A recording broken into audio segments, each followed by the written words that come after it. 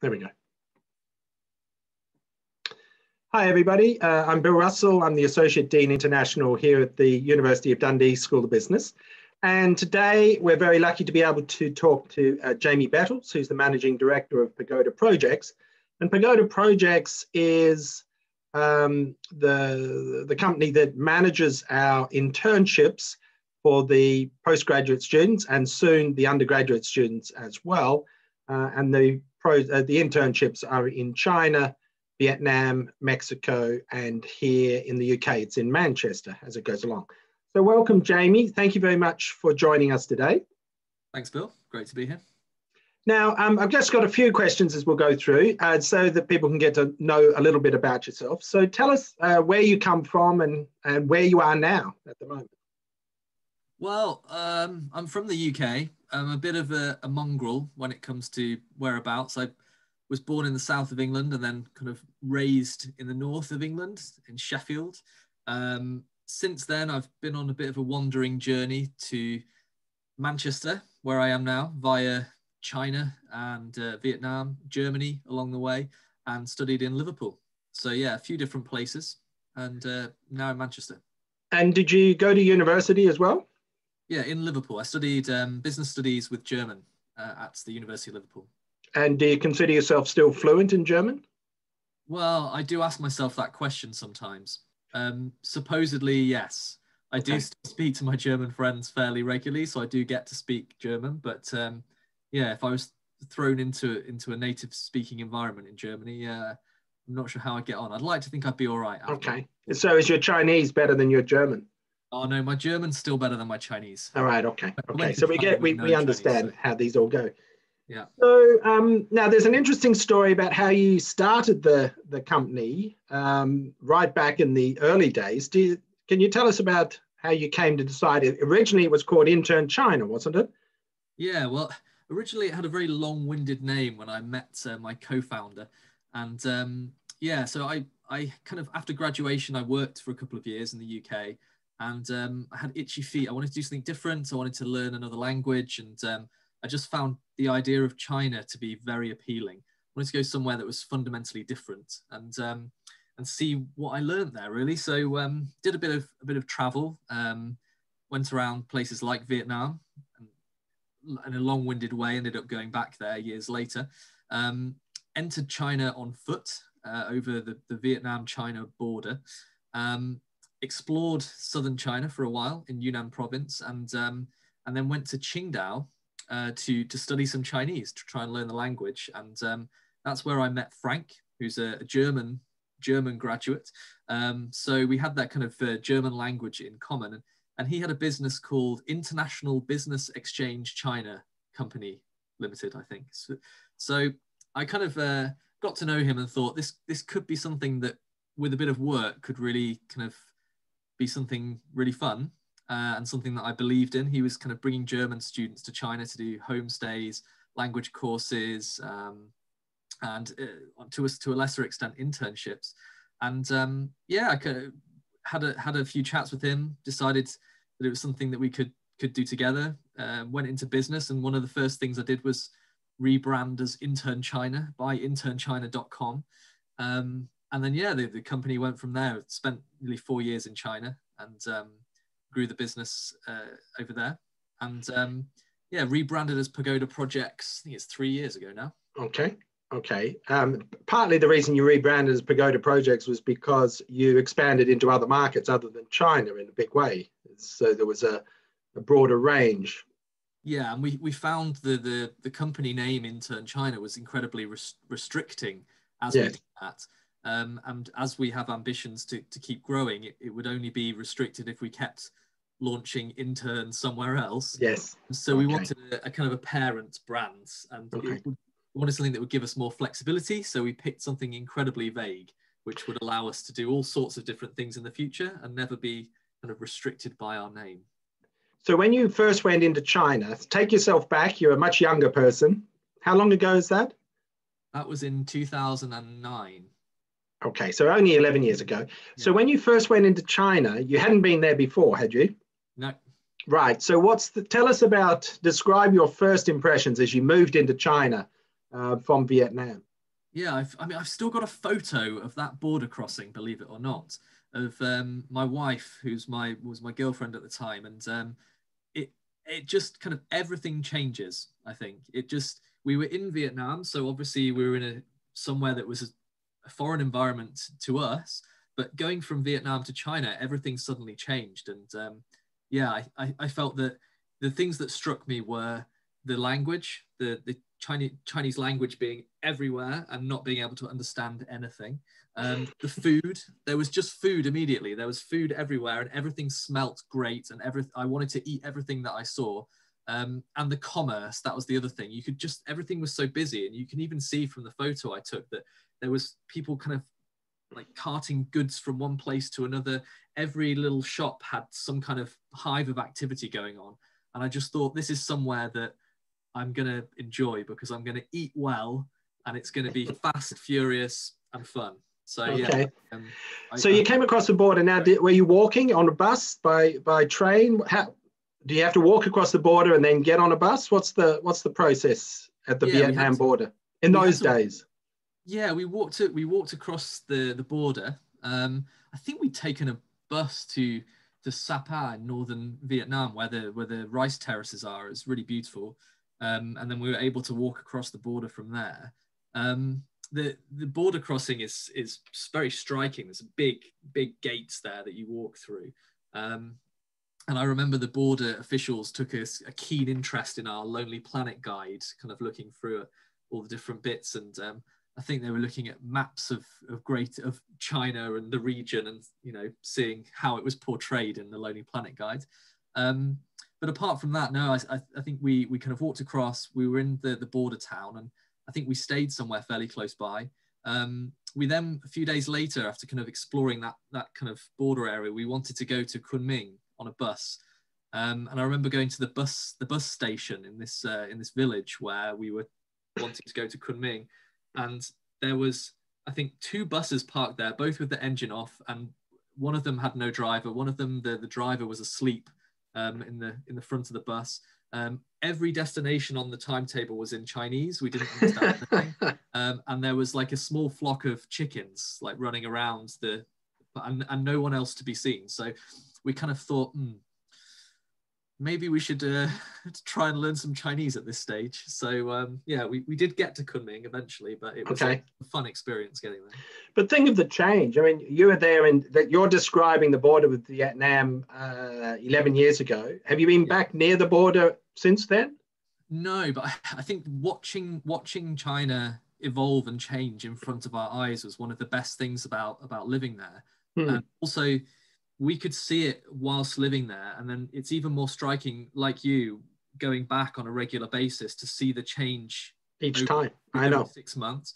And I, I, think that's that's why we we what part of the reason why we wanted to encourage more young people to go and explore china is that to see that change happening in front of your eyes is fascinating. And you can still see it when you go back now.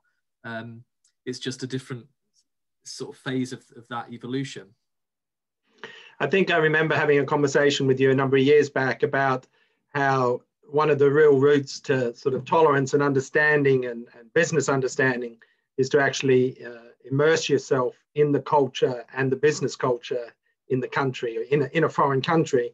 Um, and uh, I remember that being one of your your um, motivations for setting up internships. You thought that this was actually incredibly useful for people to be able to go and be in in different environments, different cultural environments, business environments as it goes along.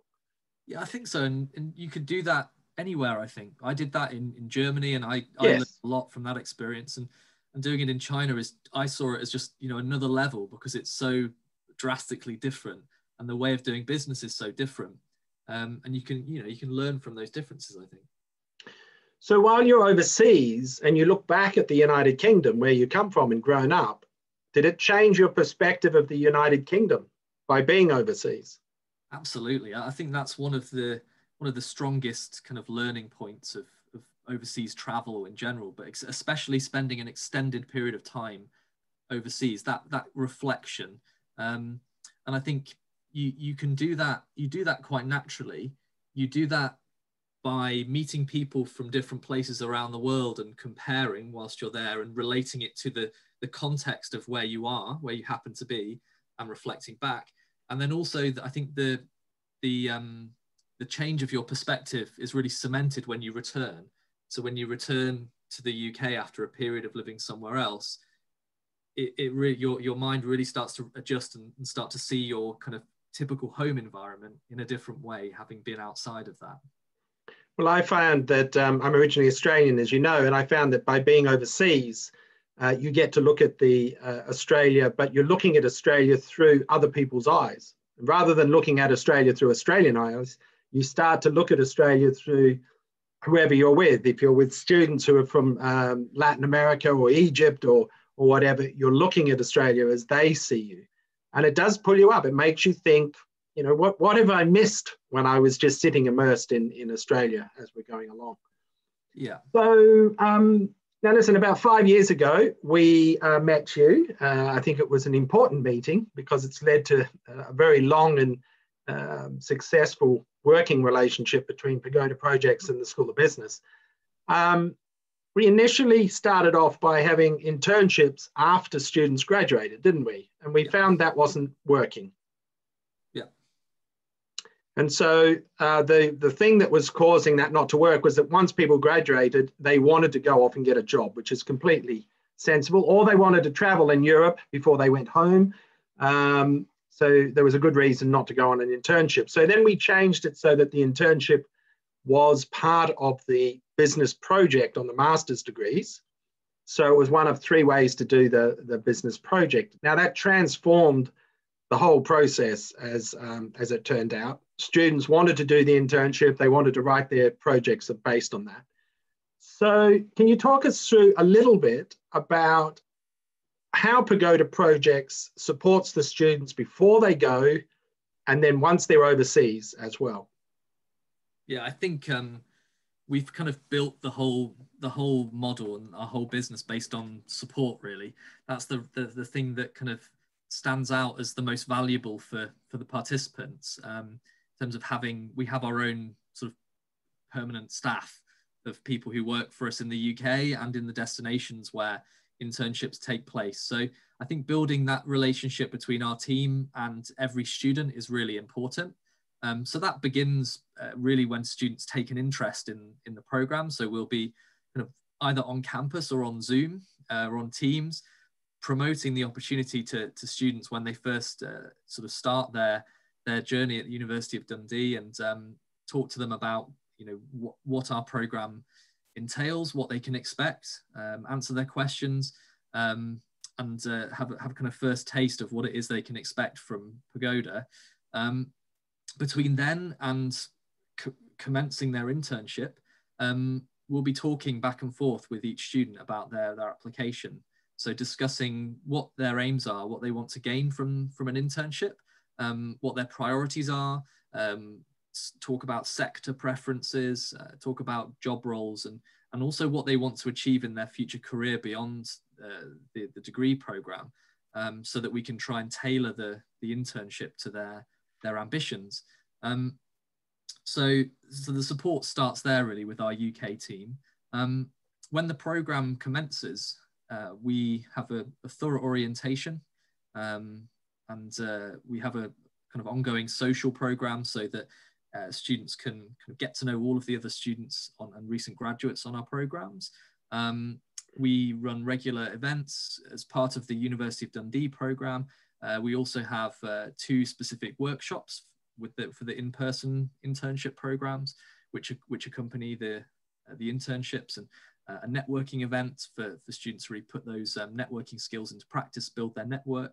Um, and then our team are on site to support throughout. So whether that's uh, an online program, uh, sort of guiding students through that through that process and coaching them through uh, their internship um, or the wider program, uh, or supporting with any kind of on-site issues if the internships are taking place in person, um, resolving any issues related to accommodation, um, anything that crops up on the internship they want to discuss. So our team are really there to, to kind of provide pretty hands-on support throughout the, the period of internship. Okay, so a couple of things there. So uh, right at the beginning, uh, you do come and you uh, give information about the four destinations, China, Vietnam, Mexico, and Manchester. Now, um, pre-COVID, you were doing that in person, but I think last year we did it uh, online, or did we get it in and just before no, COVID we lockdown? Got it, we got it in just in time, yeah. All right, okay. So it'll be interesting to see uh, what happens uh, the beginning of next year when you would normally come and talk to the students as it goes along.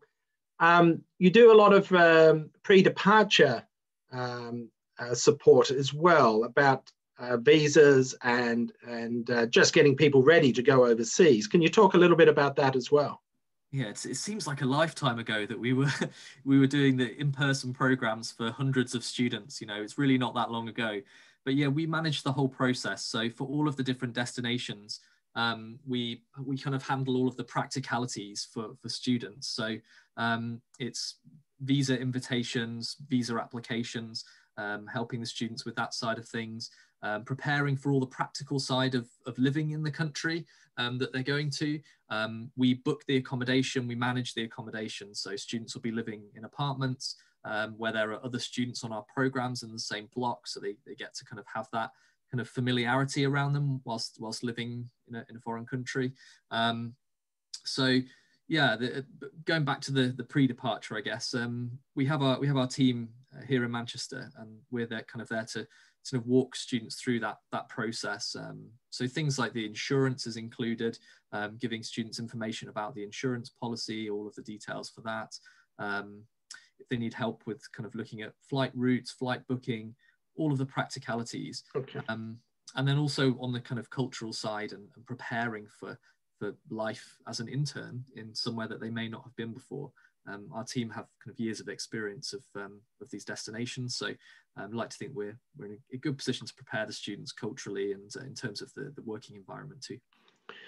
So you also mentioned the networking. I've always been impressed with that. Now, the reason why you can do these networking and social events in country when they are in country is because all of the students go to the same town. So at the moment, I think in China, it's Chengdu. Correct. In Vietnam, where's Vietnam's destination? In Ho Chi Minh City. Ho Chi Minh City. In Mexico, is it Mexico City? Mexico City, yeah. And then Manchester. So all of the students are in the same town so that they can uh, meet up with each other and support each other in a social sense. But also it allows you to put on uh, networking events uh, with the biz local businessmen. Can you tell us a little bit about the, the networking events in the different towns? Yeah, so we we spend um, a great deal of time in each destination, kind of building ourselves into the local business community. Um, so that's partly by kind of going out and meeting businesses on a one-to-one basis, but a lot of that takes place through events and through the associations of which we're a part. So um, we're members of the the chambers of commerce for for different regions of the world, for example. Um, so we're able to work together with those partners to bring together the business community with all of our student participants. So, um, and, and also as of recent years, we kind of bring our local um, university partners into the mix as well. So we're connecting University of Dundee students with um, kind of on a peer-to-peer basis with, with local students, um, which is also really valuable to see what life is like through the lens of a, of a student in that, in that territory and to make local contacts who are of a similar kind of uh, age and at a similar stage of their education I think is really valuable and proves really valuable in the years afterwards. Um, but also connecting them with with businesses in different sectors to get a feel for um, what a career might be like in their chosen sector uh, in that destination uh, to get a feel for that as well. So we use our kind of broader network. We use the the events that we have ongoing anyway, and we kind of bring all of those things together for for the University of Dundee students. So, um, so the University of Dundee um, contracts this with you, and it for the student, the actual internship is free. It's eight weeks long and it's free. Um, they have to pay for their visa. What, what expenses are they covering? They, they have to cover visa expenses and travel. And what what don't they have to cover?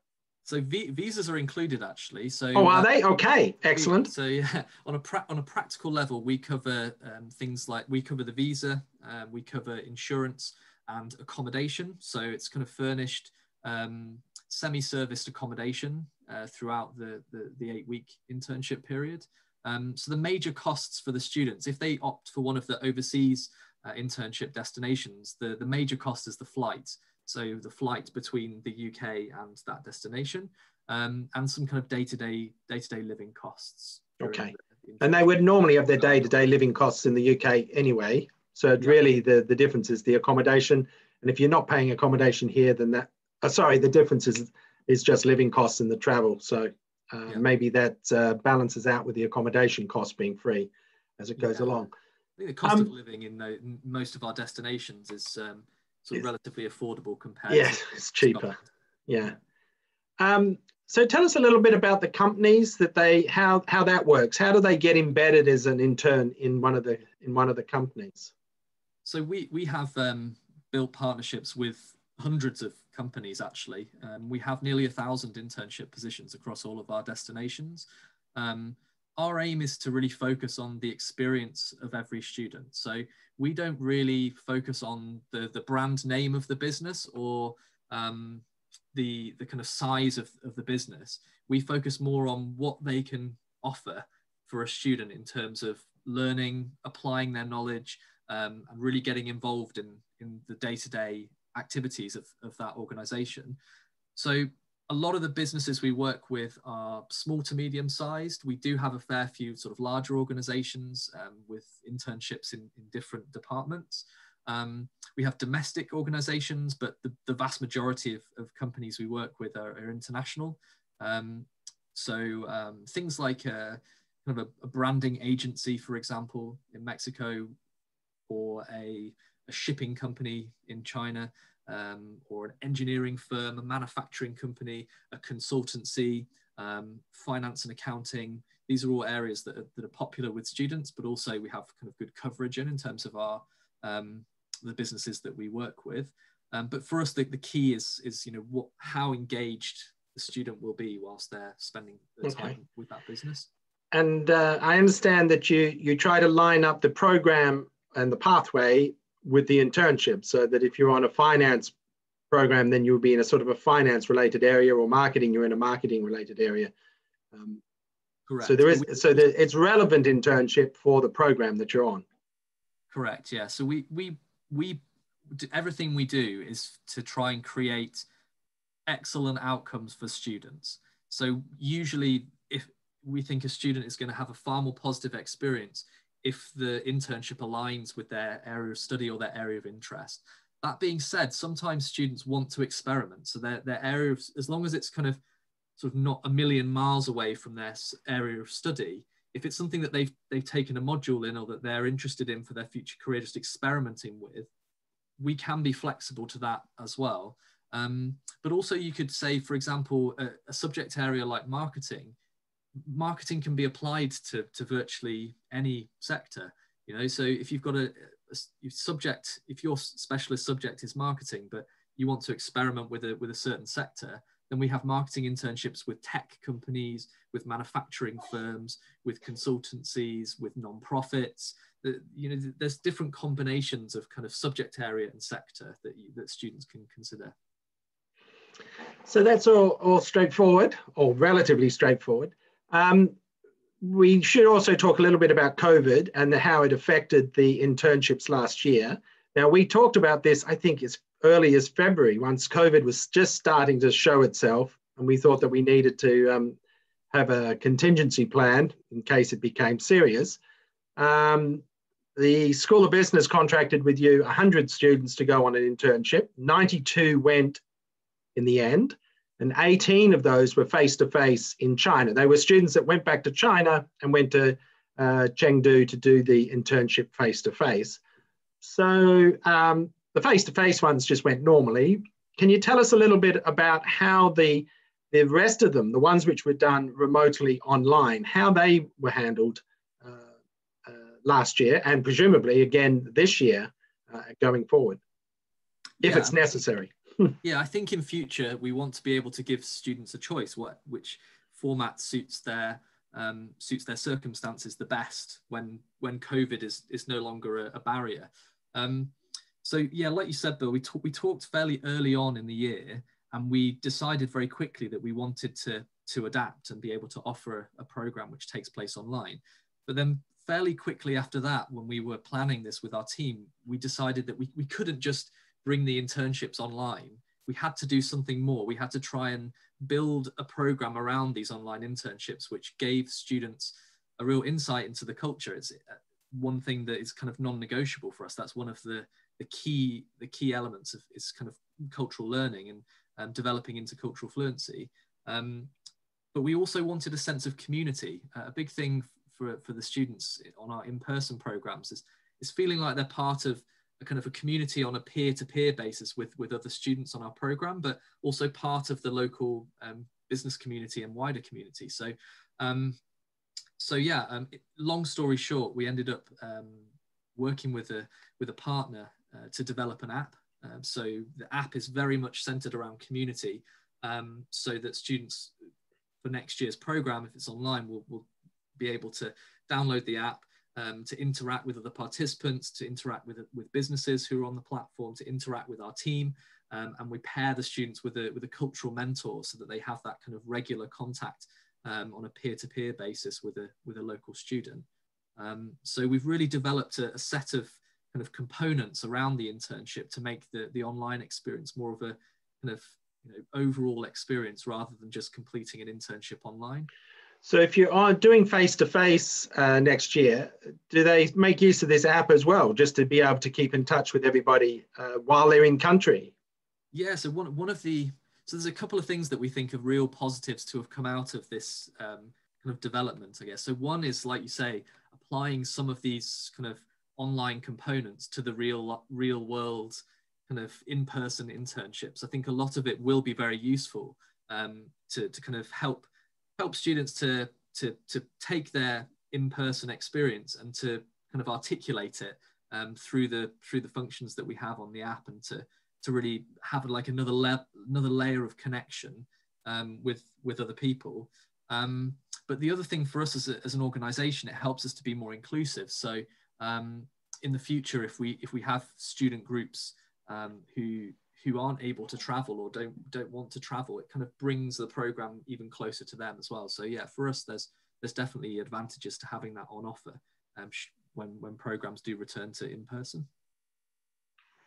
So i think uh, we've covered quite a lot of ground so far jamie. Uh, I've always enjoyed working with you and with Pagoda Projects. Your enthusiasm and commitment to the students and the, the whole process and the whole ideal of, of uh, getting people to experience other cultures and business environments uh, just permeates all the way through everybody that I meet at Pagoda Projects, both here in, in the UK and overseas. So um, thank you for so such a careful, thoughtful way that you look after the after our students and also um, build the program so as to suit them rather than suiting other people along the way. I'm glad um, it comes across that way. Thanks, Bill. It's, it's no, no, it does. It really does. With you and the team. It's been hugely successful. All the feedback, the students come back and they use terms like, you know, this was a life-changing experience and things like that. We're very pleased that the life-changing experience was the internship and not the, the degree itself. but still, um, wherever the life-changing experience comes from, we're really pleased for that. So um, maybe we leave it there, Jamie. Uh, you're fabulous and wonderful. Please uh, thank all of your team for us as well. And um, we'll see you sometime soon. If you stay online, Thanks, we can Bill. talk after we finish the re recording. Okay. Bye, Jamie. See you.